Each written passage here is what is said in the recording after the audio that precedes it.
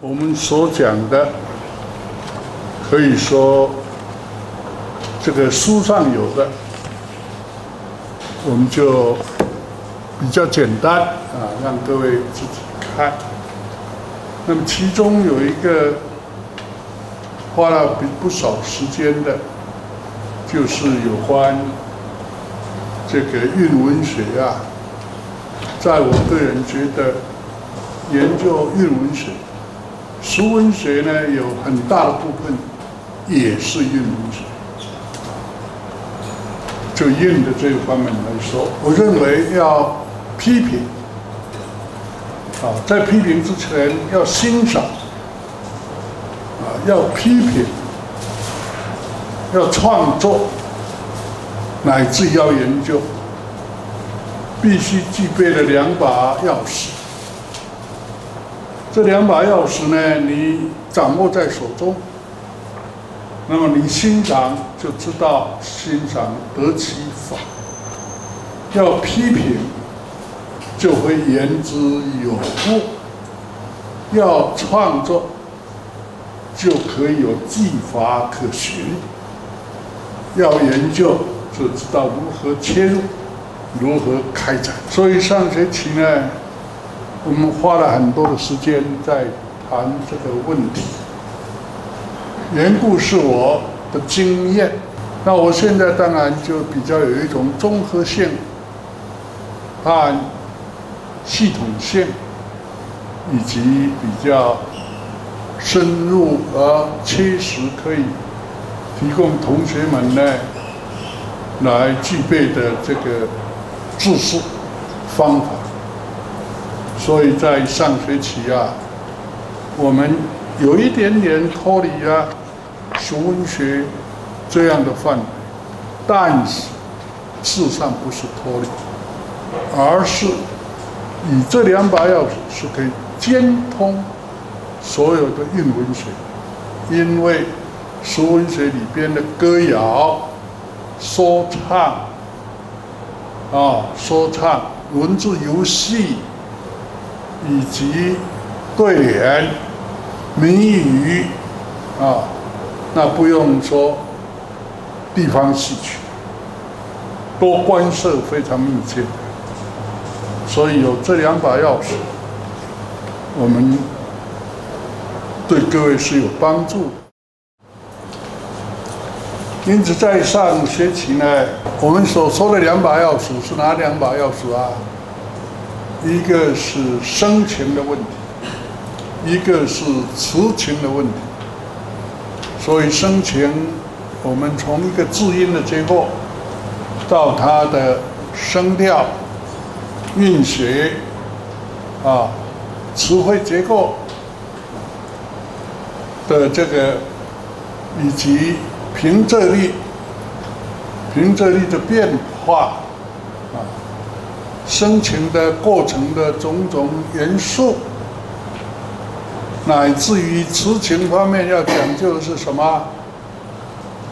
副词的结构，啊，副词的结构，以及呢，这个句法语法，一个句子里边的结构方式，那两者结合起来，一定是怎么样？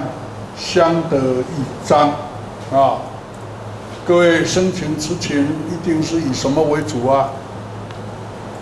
以词情为主。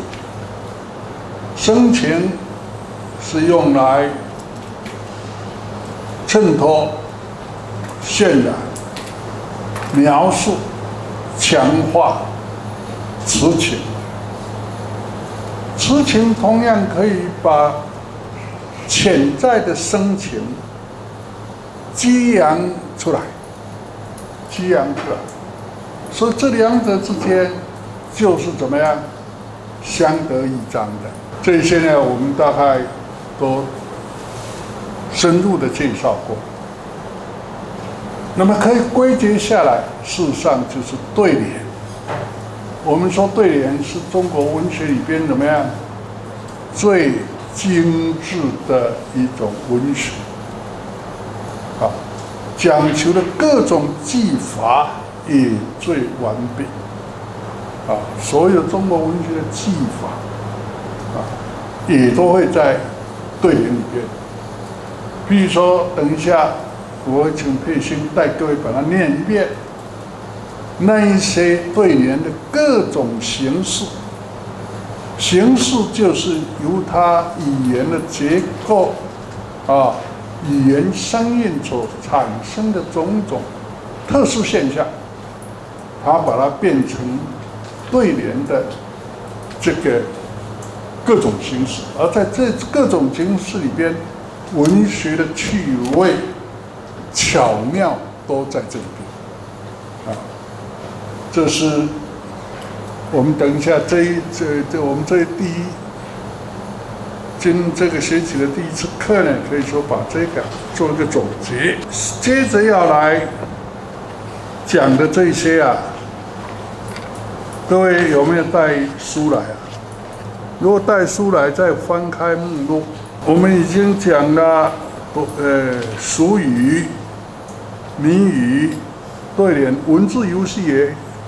各位看过了啊，那接着我们要讲的，就是各类型的故事。这各类型的故事的分类法，也是我把它统合起来的。其中啊，他的这个各位要知道，一个名字下一定要怎么样，有义，对不对啊？所以孔子呢，讲究的是怎么样？正名的观念。正名就是要名实相符，名和义之间要贴切，啊，这是呃很重要的。可是，在民间产生的文学，啊，源自于民间的，请问？它会是很单一的原理产生的呢，还是很多元的这个不同的元素、不同的基础产生出来的呢？当然是很多元，就像构成文字的方法啊，就像民间产生的各种歌谣。小调这一些，我们现在各位上文字学所谓的六书，六书，象形、会意、形声、转字、假借，对不对？这一些所谓的六会啊，六书，事实上是后来文字学家怎么样归纳出来的？是归纳出来，归纳出来。就和它原生的种种现象，能不能完全这个严丝合缝那样的丝毫不差，不能够啊，必然不能够。因此才会有会议间形声啊，这个形声间会议的现象，就好像。我们把产生在民间的各种歌谣小调，尤其产生了小调以后的曲牌，要把它归纳在宫调里边。那宫调会因时因地啊怎么样而变化？啊，由多变少。那这些民间的。小曲是经过音乐家怎么样，把它分类归纳在这个什么呢？宫调里边，让它有统序的，其结果会不会产生这个调子？好像怎么样？在这边的可以，在那边的可以，在这里也不太适合，在那边也不太适合。所以它就像怎么样？科学这里边宇宙间的万物，动物学家要分的时候，有时候会不会分的很麻烦啊？植物学家啊，偏母你要说它鸟类还是兽类啊？看样子是鸟类啊，但是它兽类。鲸鱼你说它鸟类、鱼类还是兽类啊？看样子是鱼类啊。章鱼你要说它什么是鱼类？还是无脊椎动物吗？诸此类的，在我们学术里边，照样会有。所以各类型的故事，你看我们这个书里边，第一寓言啊，我把寓言当故事，因为寓言都必须要怎么样，有个小故事，然后把你要。寄托的主趣在这个故事里边，说它本身也是故事，啊，那笑话呢，一定也要说一段叫故事，然后让人发笑，所以笑话也是啊。好，接着所谓神话、仙话、鬼话，各位，神仙鬼三者之间。会不会有时候很模糊啊？啊，当然有时候很模糊啊。那这个接着又说传说啊，精怪啊，精怪就比较特殊了，比较容易了解。那传说、童话、民间故事。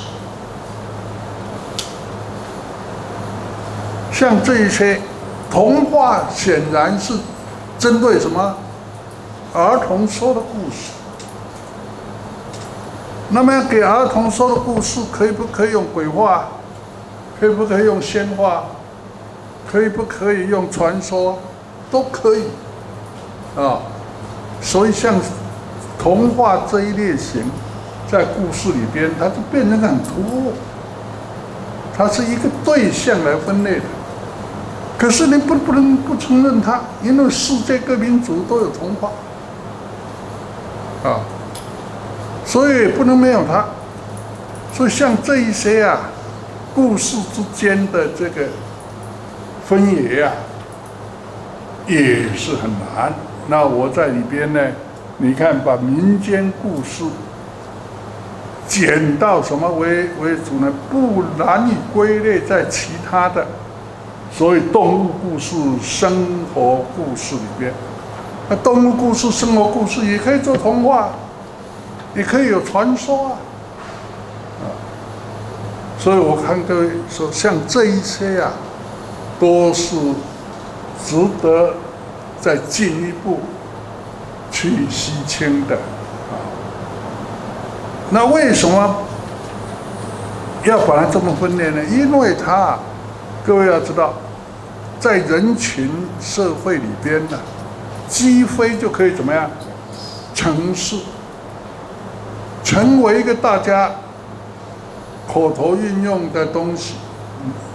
只要人多，势力强大，他就难以把它否定。像在台湾，我们的台湾鸽子戏啊，要能念鸽子戏。能念鸽子戏的很少，念鸽子戏的也就不错了。啊，大部分都练成什么歌仔戏。现在因为我的努，光这个字的努力呀，啊，慢慢定于一尊了。啊，最起先提出这个是当年的河洛歌子戏团。啊，河洛歌子戏团呢，因为它比较在歌子戏界上比较有脑筋的啊，这些。主七士的人，啊，我说，完州是要读鸽子戏，所以他们写的呢，鸽子戏的字都是桌子椅子的字。你你认为你坐坐的椅子叫椅仔还是桌仔啊？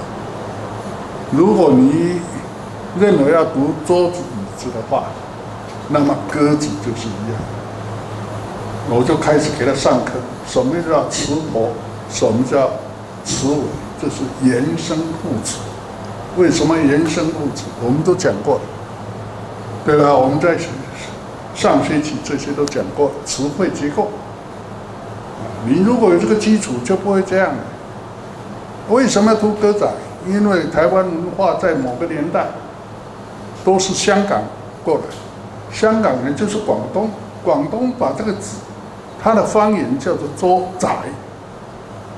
我们练国语或者在台湾不必要跟广东人宰来宰去，啊，牛仔不必，我们读牛子就可以了。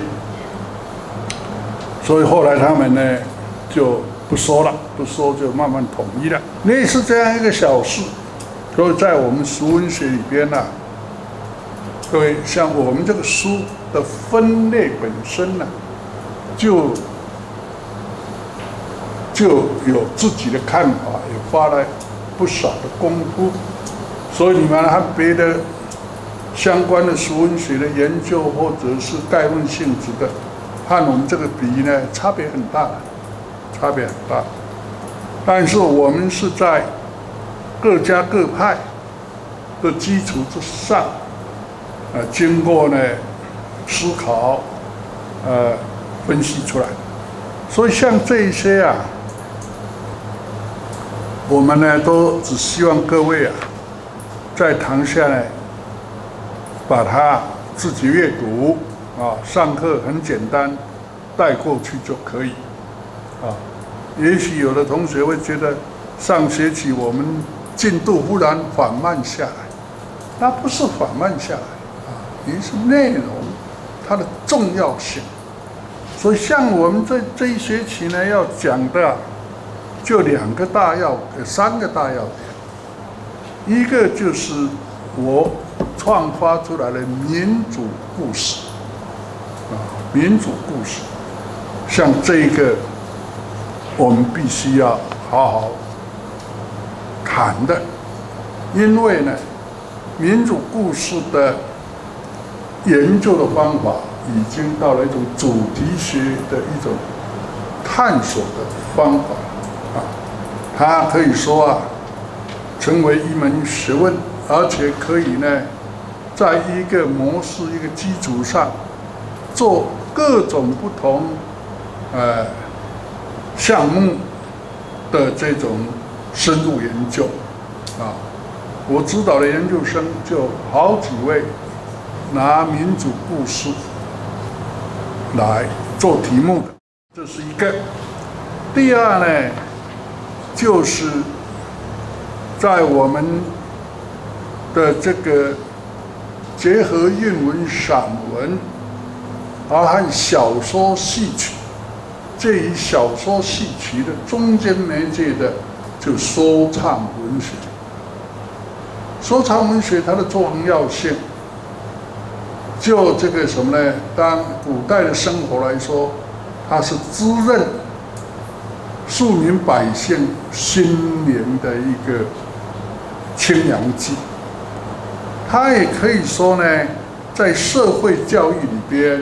啊，提供广大群众各门各类各种这个什么呢？呃，他的一种智慧知识，它可以是历史的这个概念，可以说人文的这个什么呢？呃，教化啊，也可以是心灵的这个讨喜，所以说唱文学。很重要，而且说唱文学历朝历代都有有所发展。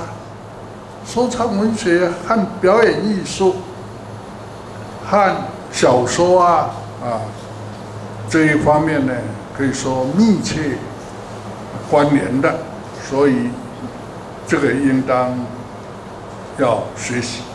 另外第三个单元呢，民间的表演艺术比较。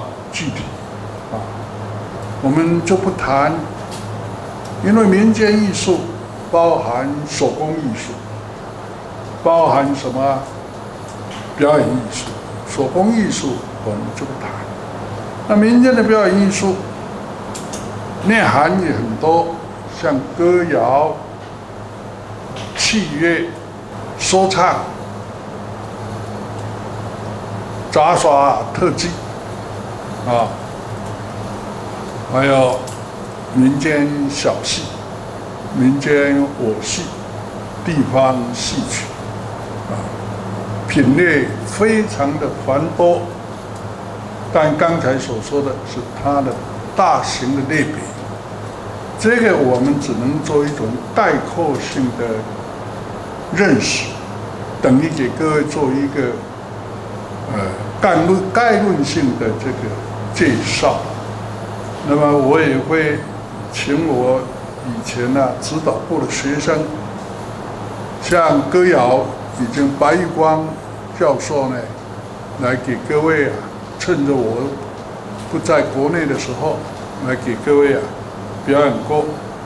将来呢，我们可以请这个有关歌谣创作的啊，像施德义教授，或者是这个说唱艺术的，那就是王友兰教授。他可以现身说法，大概这样也就差不多了啊。戏曲嘛，各位随时都可以去看。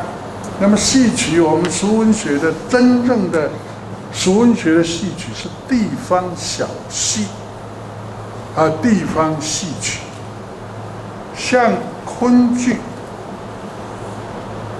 这个已经是极高雅的文学。啊，你不要说这样看看不懂，你就是摆在你面前，你自己读也不一定读得懂。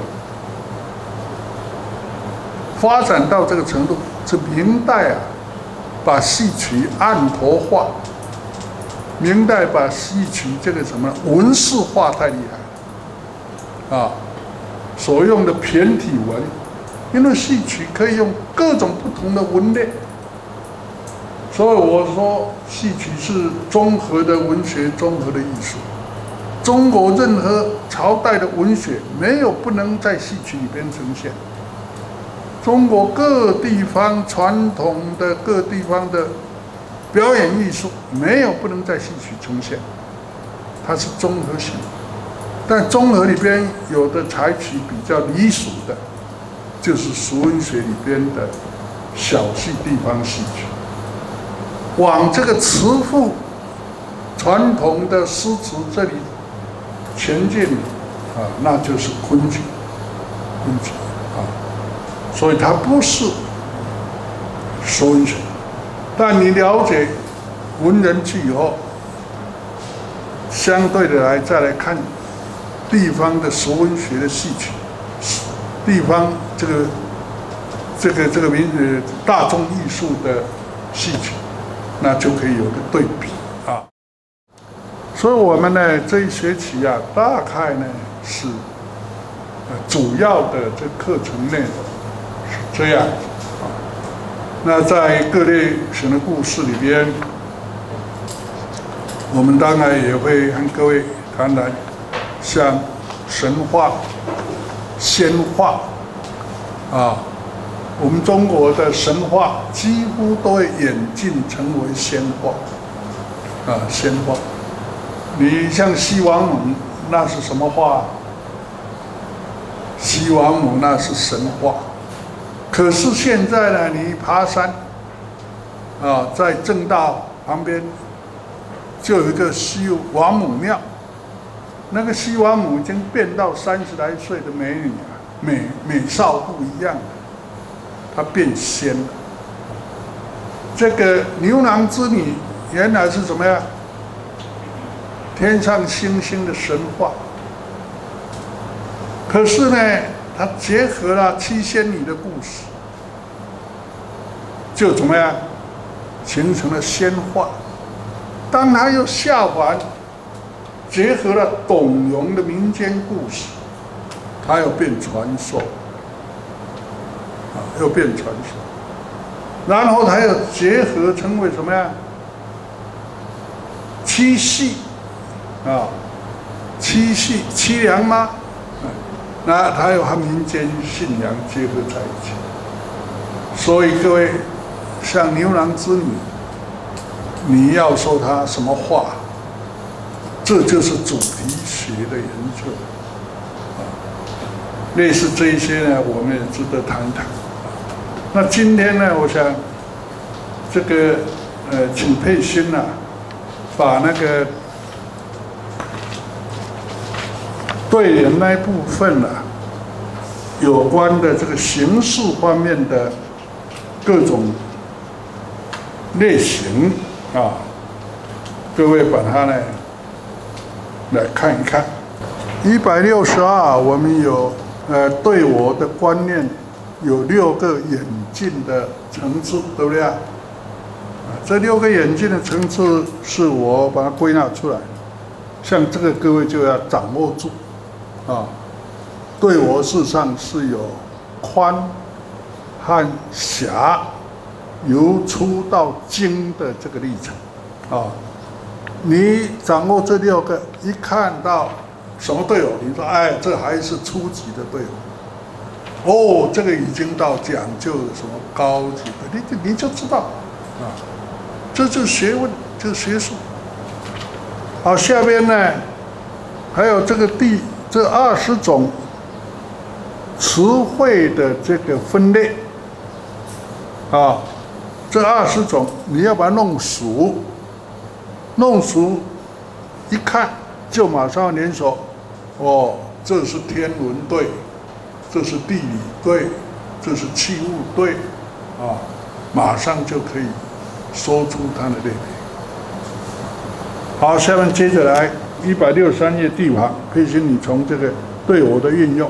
对偶的运用，除了可以增加韵文学的形式美之外，也可以使意义产生凝重平稳的效果。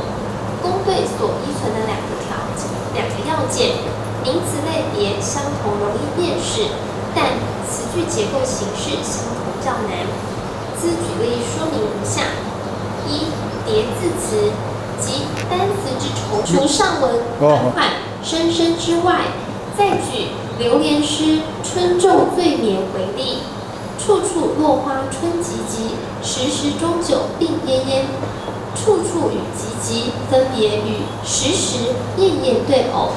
其本身又各自首尾字对，有显工整。叠字在意义上是靠其复沓的声情来强化，而其声情时有衍生，因此其所叠之字有如词尾，使声情产生轻快的效果。二双声词，即副词之声母相同，如。四川青城山天师洞西课堂对联：百卉横宗，青烟葱翠，群峰上下，佳气芬肤。葱翠为双声副词，芬肤亦然。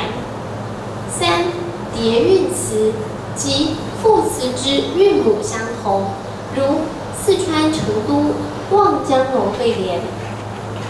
汉水接苍茫，看滚滚江涛，流不尽云影天光。万里朝宗，东入海。锦城空咫尺，听纷纷纷丝管，送来些鸟声花气，四时佳兴。此登楼。苍茫咫尺皆为叠韵副词，双声因声母相同，叠韵因韵母相同，在声情上。都有特殊效果，大抵前者顺溜，后者稳协。四连绵词，两字连缀成义者曰连绵词。以上所举之双声词、叠韵词、叠字词皆属之。另外还有一种，如鹦鹉、烟柳等。举杜甫诗句为例：五更。五角生悲壮，三峡星河引动摇。悲壮与动摇即为连绵词之对偶。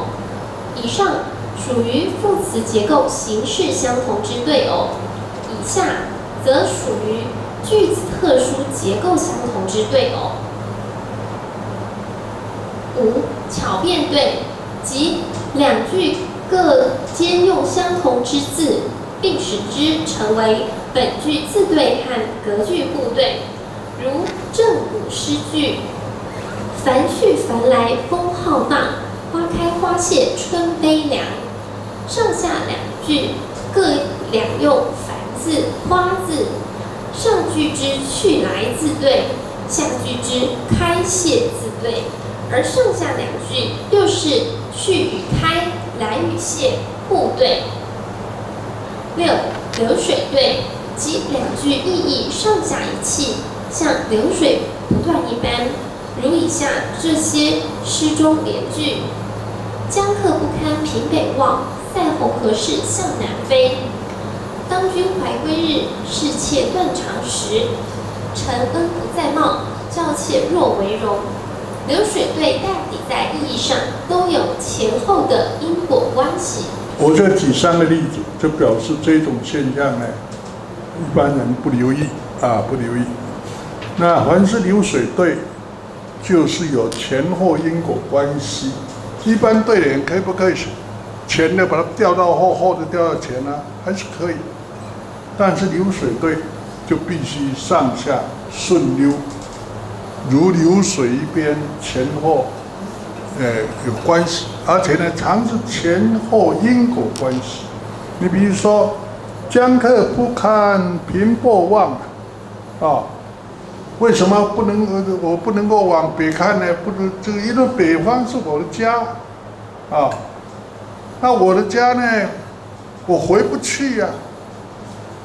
接着他，塞鸿何事向来飞啊？那你这个塞鸿本来就应当住在塞外北方的，你为什么偏偏往南飞？就和我怎么产生个对比，对不对啊？那当君怀归日，是妾断肠时，啊，也是因果关系。承恩既然不在嘛，我怎么样打扮自己啊？叫妾若为，所以这两者之间是有前后连锁性，啊，好，接着。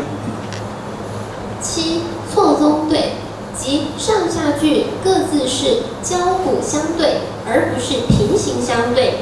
这种对偶是因为要调试平仄而采取的形式。如以下诗句：春蚕叶密花枝少，睡起茶多酒盏疏。群托六福湘江水，并耸孤山一段云。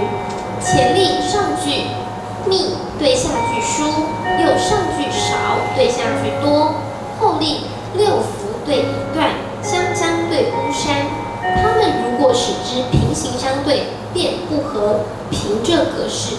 八倒装句，即故意颠倒文法与逻辑上之顺序，使之意象鲜明，平仄和谐。如杜甫诗句：相道着于鹦鹉立。必无七老凤凰之，此对如顺言当作鹦鹉啄于香道立，凤凰七老必无之。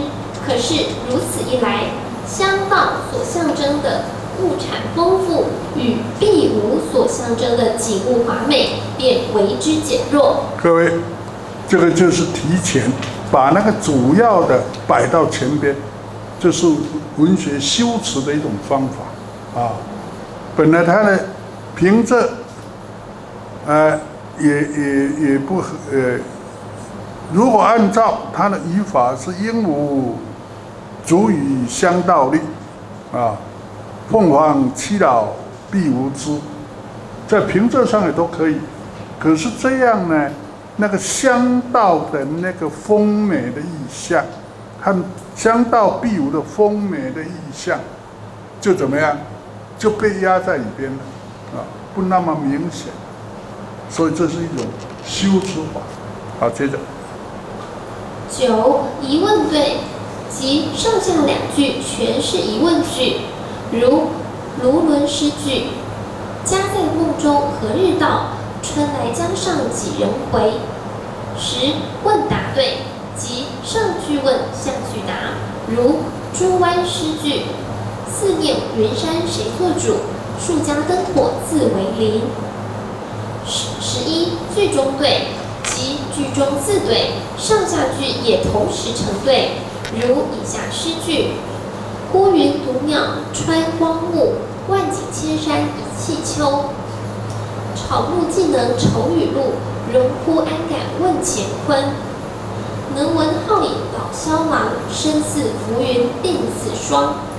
第一例上句孤云独鸟穿光穿须看成三，此为介形，自详对偶。下句万景千山一气亦然，而其上下句又互相平行对偶。第二例则草木对雨露，荣枯对乾坤，而上下又相对。第三例则能文对好饮，身似浮云对鬓似霜。此例是比较宽松和特殊的对偶。各位，像这个前面两个例子，就是说句与句之间已经两两相对，那么句中又自对。像孤云对独鸟对穿光，那个穿你要借它的形体看成一二三的三，这个三的话就按孤独做树木字的对偶，都同时树木字，这就很工整。万景千山一丘也都是树木字啊，然后孤对万，独对千，光呃这个这个川对一也是树木字对。啊，就彼此两两相对，本身也对，这种是最工整的一种对偶法。还有最后一个呢，就比较宽松，也就是说它是能文好言，能文好言呢，这个是本句字对，啊，身似浮云，鬓似秋。你看这两句之间看起来没有对偶，能闻好饮怎么能对身似浮云呢？老萧郎怎么能对鬓似秋呢？可是你看能闻的老萧郎对好饮的老萧郎是不是对偶啊？啊，身似浮云对鬓似秋是不是也对偶啊？所以它运用的就是我们对偶六等级里边的怎么样？前面那个比较宽松的队伍。像这个也是属于啊，呃，对我的现象，所以啊，你如果不了解这些，别人应用到这个，你批评人家说，哎不合理，哎你这个对我都对的不好，人家会笑你说你手资有限，啊，好接着，格局对。十二格局对，即第一句对第三句，第二句对第四句，例如。昔年共照松溪影，松折悲荒僧已无。今日还思锦城事，雪消花谢梦何如？缥缈巫山女，归来七八年。殷勤湘水曲，留在十三弦。诗句所以可作隔句互对，是因为以韵为一个语长。以及韵脚出现之前的音节数或字数，如上例前者可看作十四言之连对，后者可视为十言之连对。若此，则诗诗之隔句对等于对联之平行对。好，各位还记得我们说过一个观念，韵长的观念，对不对啊？韵以前的音节数。是同时这个蕴藏的，所以拿这个诗来说，五以前的这个五以前的这十三个音节加上五，它是个蕴藏，同理如以上也一样，说这两个蕴藏就可以两两相对，啊，但是变成诗呢，就好像这个第一句和第三句对。第二句和第四句对，所以叫隔句对，啊，是因为呢这种不同的基准的缘故。而对联来说，应当是拿韵长相对，啊，所以它是两两相对的现象。好，接着。十三借音对，即借同音之字以对偶，例如。厨人具鸡黍，稚子摘杨梅。寄生且喜。各各位看这个这个羊在这里要看成哪个羊啊？牛羊的羊才能看那个鸡，才为什么这样才叫公对呢？因为那个鸡和羊就属于怎么样？草木，呃，同语，对不对？鸟兽类，啊，它就是同一个名词类别，啊，这个变成虫与鸟兽类，同一个这个类别里边的名字就叫公对。古人吃饱饭比较没事干，所以都会讲这弄这一些啊，好，接着。寄生且喜沧州近，故以不如白发河。前立之阳借作阳，与鸡、及属鸟兽类之公对；后立之苍借作仓，与白、及属颜色类之公对。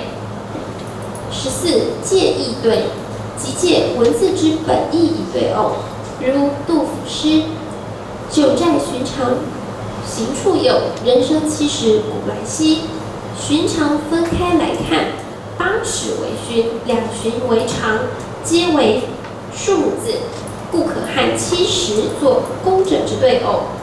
再如《清光绪间》，北京流传这样一副对联：“宰相合肥天下瘦，司农常熟世间荒。”那时的宰相李鸿章是合肥人，人称李合肥。当过同治、光绪皇帝师傅的翁同龢是常熟人，那时官户部尚书，故称司农。此联以合肥作理当肥胖，以常熟作经常丰收解释，接借地名合肥和常熟的字面意义，以朝奉朝廷。咱们中国人呐，称呼人呐，最忌讳的是什么呀？直呼其名。直呼其名，叫做赐名，啊，只有谁可以这样？老师对学生，父亲对什么呀？对儿子，可以，啊，或者好朋友，好朋友，直呼其名就不礼貌。的，所以我们才有字，字是干什么？解释名字的。欧阳修为什么字？永熟啊？修就长，修就是美，永是长，熟是美，啊。郑成功名深，为什么字大木吗？反正都木头嘛，所以大木，啊。苏东坡名士，为什么叫子瞻呢？因为古代的那个车的那根士，是站立的时候要向人行礼，行注目礼，啊，就看着对方。比如书间，我先看着你，这个就是瞻。那因为孔子啊，过城的东门的时候，平车上向这个在车上。向全国的百姓打招呼致敬，所以叫子瞻。苏东坡就用怎么样？用这个士名叫士，他就字子瞻。所以名和字之间是有关联的、密切的这个诠释的意义的。这各位啊，读中文系这点小事要知道。那么号是什么？号就是来表示你的啊生命子气，你的人格的这个这个什么？好，苏东坡到后来被贬了，他住在哪里啊？我我去采过他的那个东坡，就在黄州的，他认为的赤壁，他认为的赤壁的上边一个小山坡，啊，这个斜度有一点啊。我就从山坡那边，现在乱七八糟的民居了，啊，他那个已经不在朝中，所以说山的东坡居士是什么？他心向佛，不剃光头发，叫居士，是东坡居士，表示他的心智的这个情形。啊，呃，晚清的那个那个秋瑾，他叫剑湖女侠，哎，他打算要牺牲掉，所以自称剑湖女侠。啊，凡是好啊六一居士啊，也就是说他家里有什么什么是雅啊，或者把自己的书房啊当做自己的别号，所以好。一定和这个人的人格、生命志气有关，还有对一个做官的人，或者是个大文豪、大哲学家，他呢值得敬仰，几乎呢名满天下的啊，像李鸿章，你看执掌这个中国有多少年的这个这个真正宰相呢？安徽合肥人。说称李合肥，加个李就大家知道，因为他是那边的人，这个地望就属于他了，啊，那含义是什么呀？含昌礼，这个是极尊敬的意思，啊，极尊敬的意思。不过这里呢，就拿他的籍贯，又对他的尊敬来反怎么样？反讽，啊。因所以他写的是“宰相合肥天下硕”啊，做宰相的吃好喝好，这这个结果天下硕了，都被你吃掉了嘛，所以天下硕嘛。说宰相要合肥，因为那肥天下，结果天下硕，这嘲弄的意思啊。那司龙，各位知道司龙是什么？是户部尚书，古代的。中央部会只有六部，啊，礼部、吏部、礼部、吏吏为最高啊，吏部、礼部，啊，然后呢，户部、工部、兵部、刑部，所以他那时候的一个部啊，管线很多。你拿那个户部，就包括哪一些呢？包括。现在的经济部部长、财政部部长、农委会主委啊等等，都都都依他管。那为什么又叫做司农呢？中国人很麻烦，就要把这个什么官职要追溯到最雅的雅，只要古就雅，那就你要去好好读翻一翻啊。各位啊，这个我顺便告诉你们读书的窍门，不必要读书，掌握大要就可以啊。像我当年读《仪礼》呀，哎，每一天读一篇，睡了十七个下午啊，因为那个不睡不行，那个那个那个是天下要治，我发现治理这个什么失眠症最好的一部书啊。你们哪一个人啊？只要睡不着觉，就读以礼包你睡啊！因为书里边呢，什么你啊，往东站立，向前走三步，向右 转一转，你的面朝哪里，往哪里啊？要摆什么器物，上面摆什么？哎，可是翻了以后呢，睡睡了十七个下，我大体知道以礼是什么，还有礼，周礼也一样。周礼里边，它就是等于中央政府的组织结构，也就中国的官制都从周礼这部书来的。啊，你只要把这个翻一翻，把后来的连锁上来，做个系统性，啊，那么中国最难治的一门学问，呃，搅扰我们读书人很多的，就是官制，对不对啊？你们有没有读读这个历历代历朝历代人物做什么殿内侍御史，然后又什么都给事，那些名字是干什么的？它有什么样的有什么样的意义啊？啊，其实把这些拉拉一拉就可以了。所以像周礼那个，你们也把它翻一翻，啊，都很有用的，很有用啊。类似这样子，这个宰相，你看中国有宰相的名字，但是没有哪一个朝代的宰相就叫宰相，没有。宰相是历朝历代，你看汉代相国，后来丞相，对不对啊？后来什么这个尚书令、中书令、宰相的权力分开啊？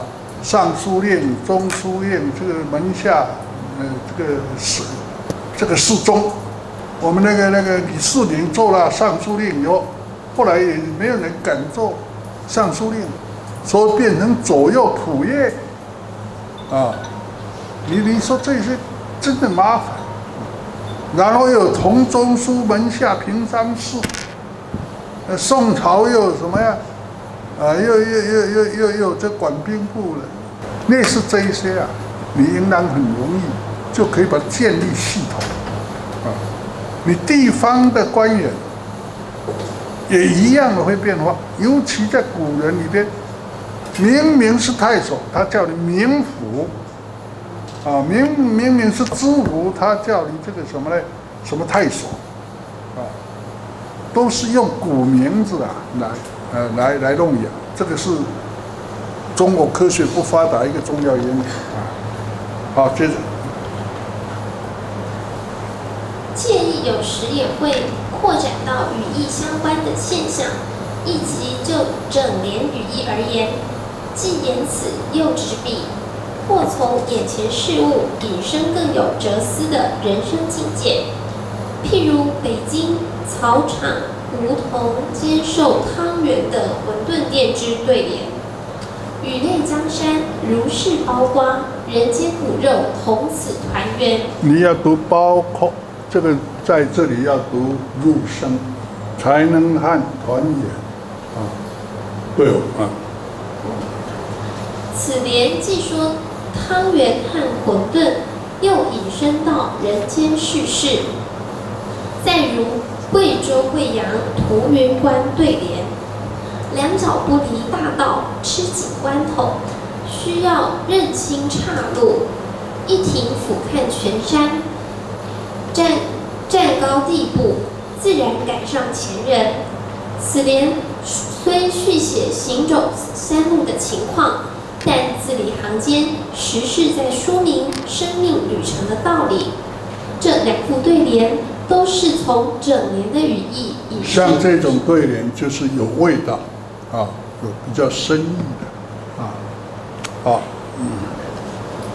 十五借字面对，即借用字面意义之对偶，如杜甫诗：“竹叶渔人寄无份。”菊花从此不须开，竹叶在此即指竹叶青为酒名，在意义上与菊花只属宽对，但若就竹叶文文字面意义，就是公对了。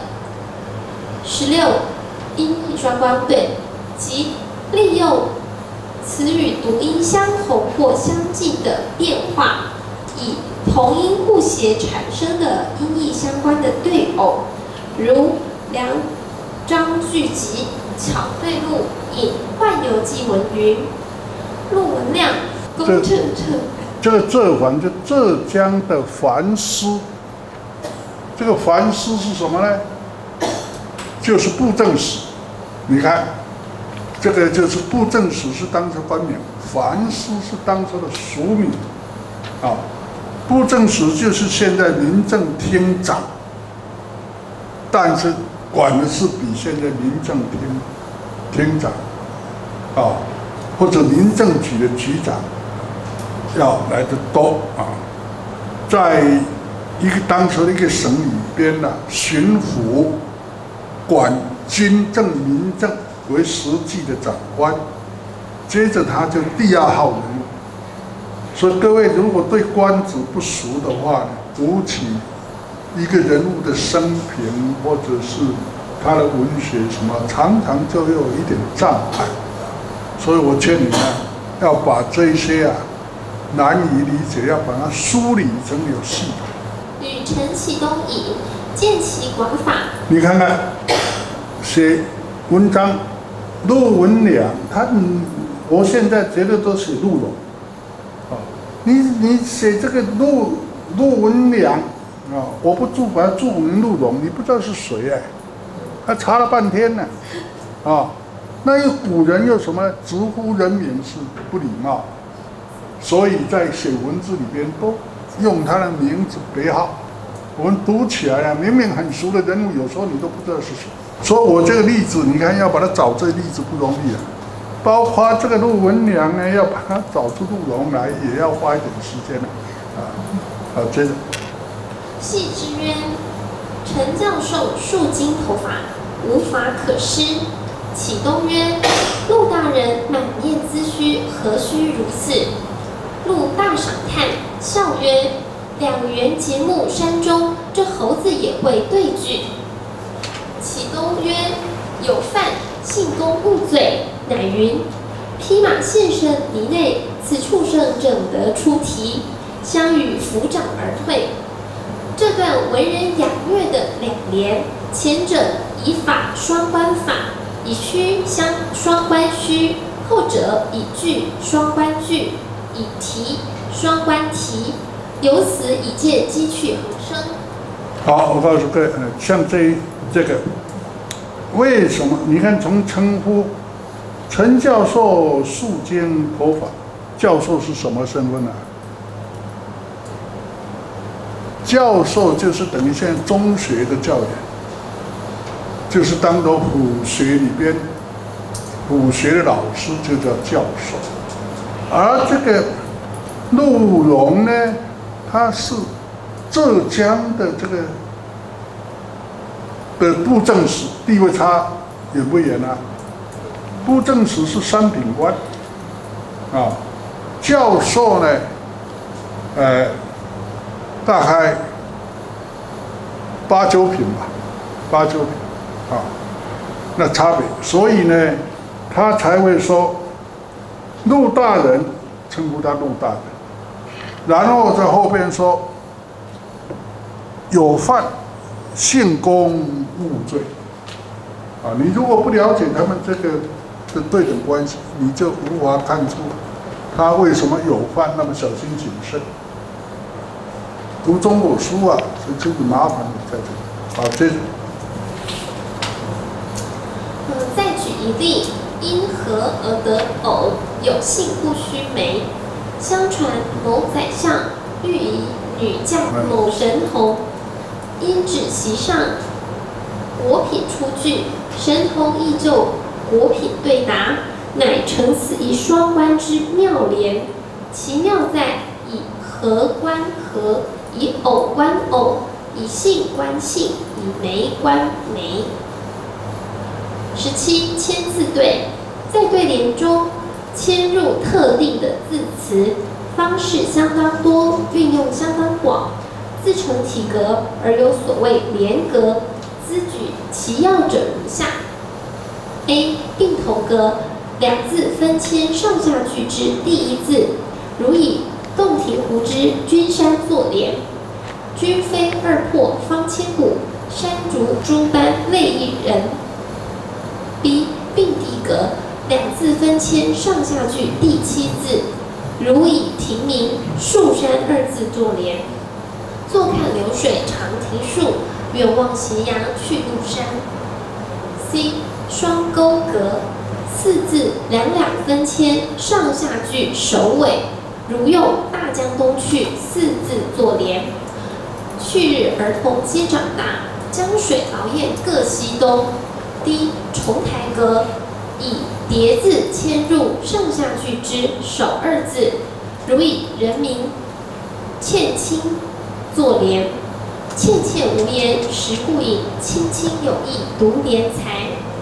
其实签字的种类和方式很多，难以标明其格，而讲求其格的尚有所谓诗中，譬如前两格诗中即称凤顶格、燕足。格，清徐兆丰《风月谈云录》云：“囊传将京师有诗中会，构思时以寸香细缕，上坠以前，下沉余，或分缕断，前落余响，虽家卷亦不露，故名曰诗中云。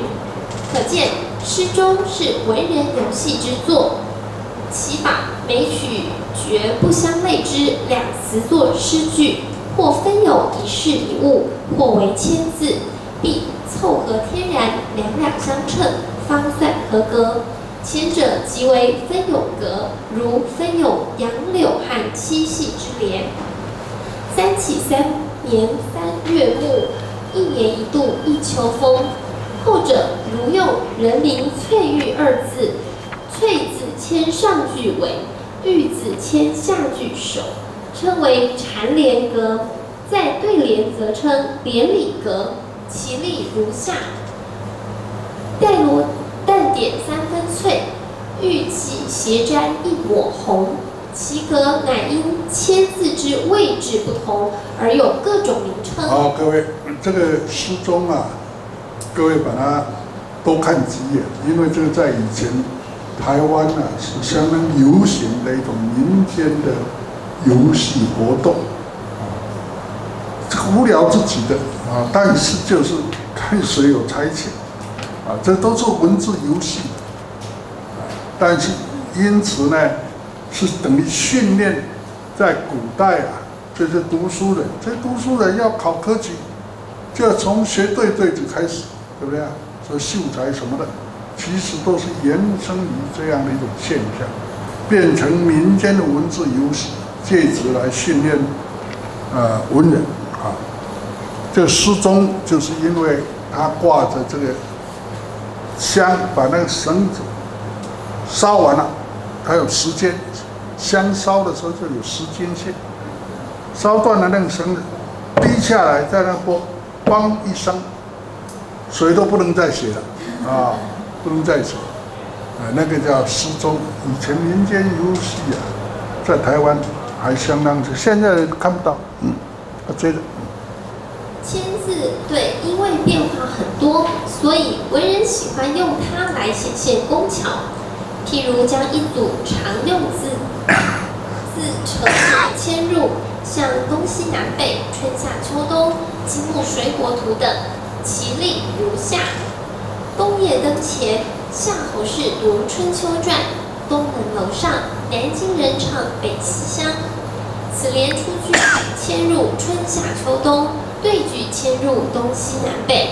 而世俗最喜欢迁入的，莫过于人名、地名的名称。举例如下：雪以露丝非时见，花积雨露蕊方安。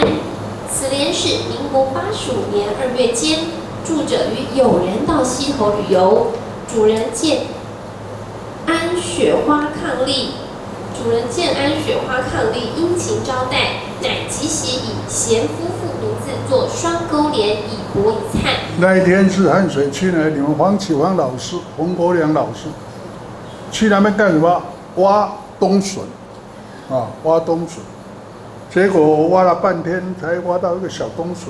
人家主人一看，咔嚓，一铲就一条，一铲就一条。我说：“哎呀，这个术业有专攻啊！”啊，那当然吃了这个很丰盛的这个竹笋冬笋餐。主人就叫建安啊，那个太太就叫雪花。各位啊，我们台湾。我光做这个钱字联送人呢，恐怕超过一百首都有了，我自己都没有留下来啊，散布在各地。帮我写的最多的就薛平了，得过国家文艺奖的这个，所以我们呢两个人呢合作写这种无聊的东西啊，因为朋友啊或者是开公司行号，哎就会你喝了酒啊，党魁党魁帮忙做一点。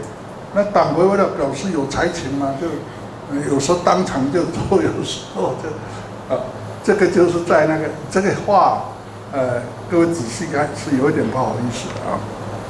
这个雪影路是非是现啊，这个建安是他的雪花花经雨露对不对？安，这个就用夫妻啊，这时候太太就要要要地位高一点，所以雪花为凤顶阁，是不是像凤顶阁、燕竹阁就建安？这个在民间呢最流行的啊，最流行。好，接着又如民报民心，指明社中宣明法，善男善女，招善谈善，种善根。此联是民国五十四年间，台南县下营乡某寺庙落成，乡前辈主我为寺庙撰制楹联并作记。着作中的一联，庙中有乡人聚会的銮堂，名曰指明社招善堂。此联即迁入社名堂名，同时亦迁入关键字明与善，使之两两用相应。各位，我那时候才二十几岁啊，二十几岁，就是在研研究所啊，这个二年级，一二年级之间，我们乡下，呃，有一个庙拜成了，呃，我们的前辈啊，就说，哎，你这台大中文系研究生啊，呃，你这应该没有我们这个寺庙里边对联，那我又好大喜功，又好这个 这这。显露才华的人啊，我常有这个毛病，都不拒绝，有一点叫王婆的味道啊，所以我就把整个寺庙从楼上楼下，这个这个地藏王菩萨给他一对，这个这个李东宾的给一对啊，门口一对，这里边就是那个那个什么銮堂，銮堂叫子明社招善堂啊。那挂在这个銮堂，这胡姬胡銮的，它民间组织聚会的地方，我就用这个子明社的名，招善堂的善为核心写下来，写下这些。当时啊，呃，我们的研究所，你看，老师在研究生一二年级的时候，也可以做这样很工整。我看你们现在能过不多了，为什么？因为不重视这些了，啊，不重视这些，甚至台湾有好多大学，有几所大学把文字声韵，这个这个训诂学都都都要灭掉，去中国，嗯，不得了。所以这一些啊，为什么上个学期我们后边花那么多时间要给各位讲这些啊？我是有深意的啊，有深意。十八离合对，这是文字游戏的一种，即利用汉字的离形和合文所制成的对联。例如“山石岩下古木枯，此此木为材。白水泉边少女妙，次女有姿。”此联出句即以山石何为岩，古木何为枯。此木何为柴？对句即以白水何为泉，少女何为妙，次女何为姿。又如日出东，月出西，天上生成灵妇，女居左，子居右，世间并配好人。此联出句以日月何为明，对句以女子何为好。又如早己为新，截断劈开曾四树，昌门起屋。宜多补少，做双肩。此联出句即结早字，断己字，成为四数。对句即将昌中之入移入门内，成为间，故称双间。此联对句实以运用文字离合增损之法。又如鸟入风中，衔出虫而作凤；马没芦畔，吃尽草以为鱼。此联是离合增损的典型例子。风字去其虫而入以鸟字，合为凤字。同理，如字尽其草而卧以马，则合为鱼字。十九以字对，即以去连中字以见意序，如二三四五六七八九。此联即以缺一少十为缺一少十之意。又如蒲松龄《聊斋志异》三朝元老云：“某中堂者，武林相也。曾降流寇，事论非之。老归林下，响堂落成，数人子述其中，天明见堂上一匾云：“三朝元老。”一联云：“一二三四五六七，孝悌忠信礼义廉。”不知何时所悬，怪之不解其意。或测之云：“首句以望八，次句以无耻也。”二十回文对，即按词序可以由前向后读，也可以由后向前读，而皆自成意义。如浙江舟山观涛亭联：“龙怒卷风风卷浪，月光射水水射天。”此即以卷风风卷与涉水水涉为回文。又如客上天然居，居然天上客。人过大佛寺，寺佛大过人。此联即是全句回文相对的例子。二十一，顶针对，即用前句之结尾做下句之开头，如北京潭破寺弥勒佛对联：大度能容，容天下难容之事；开口便笑，笑世间可笑之人。又如一生二，二生三，三生万物，法地天，天法道。道法自然，顶针的两字又称连珠，属于文字游戏的对联还有多种，虽然皆可见其机趣，但如果过分造作，就有失自然了，因此舍之可也。